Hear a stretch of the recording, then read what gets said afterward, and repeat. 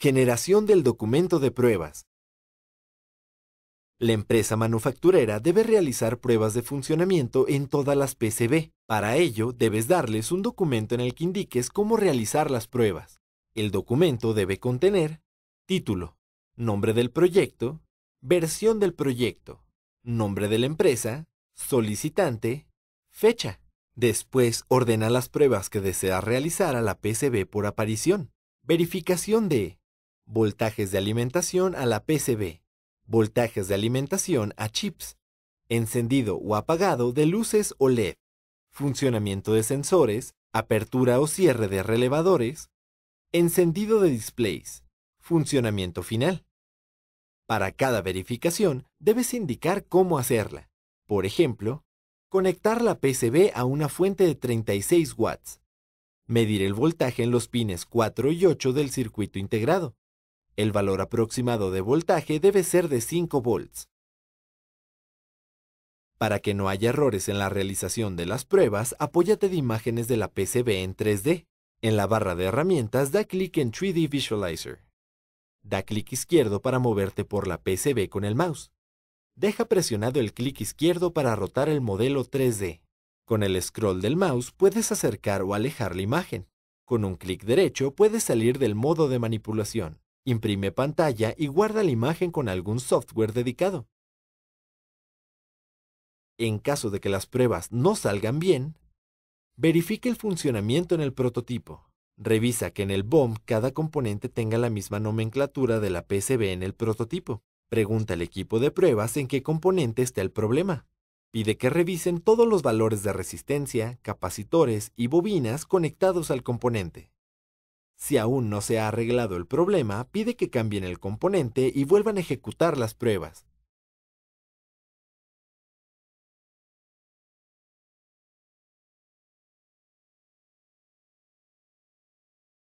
Cotización de servicios de manufactura de PCB.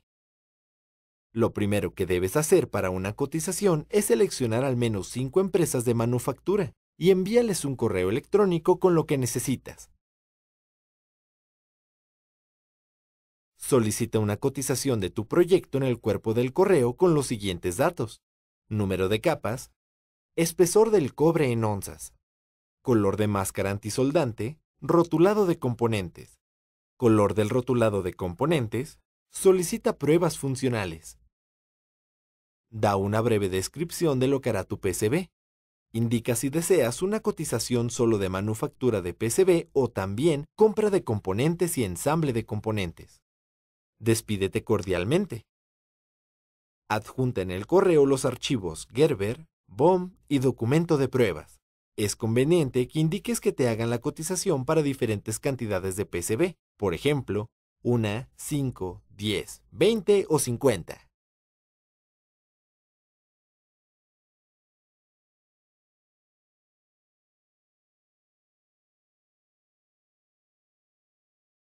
Pruebas de continuidad en PCB. Las pruebas de continuidad son útiles para determinar la existencia de cortocircuito y de pistas abiertas en la PCB. Con los cables conectados a las entradas del multímetro, gira la perilla a la opción de continuidad, la cual está indicada con el símbolo de una bocina o un diodo. Junta las puntas de los cables. Escucharás un sonido como indicación de continuidad. Esto es, que el circuito interno del multímetro está cerrado y se presenta flujo de corriente eléctrica. También verás que en la pantalla aparece el número 0 o un valor cercano. Existe un cortocircuito en la PCB cuando dos o más pistas que no deberían estar unidas presentan continuidad. Esto ocurre por errores de manufactura cuando las pistas se diseñaron demasiado cercanas entre sí. Para asegurarte de que no sea el caso, verifica que la PCB no esté energizada. Coloca la punta del cable negro sobre una de las pistas, preferentemente sobre el pad, para que tengas una mayor área de contacto. Coloca la punta del cable rojo sobre el pad de una de las pistas cercanas, con la cual sospeches que podría existir un cortocircuito. Si el multímetro indica continuidad, el cortocircuito está presente. Realiza esta prueba en cada par de pistas de tu PCB. En algunas ocasiones, se pueden presentar segmentos de pistas faltantes debido a que el diseño de la PCB no fue transferido de manera correcta sobre la superficie de la tarjeta. Para revisar que no se presente este error, Verifica nuevamente que la PCB no esté energizada. Coloca la punta del cable negro sobre uno de los pads de una pista. Coloca el cable rojo sobre el siguiente pad de la misma pista. Repite este procedimiento para cada pista de la PCB. Si el multímetro no indica continuidad, significa que tu pista está abierta. En este caso, aparecerá el número 1 en pantalla. Realizar las pruebas de continuidad te permitirá detectar errores, los cuales puedes corregir antes de soldar los componentes ahorrando costos para tu proyecto.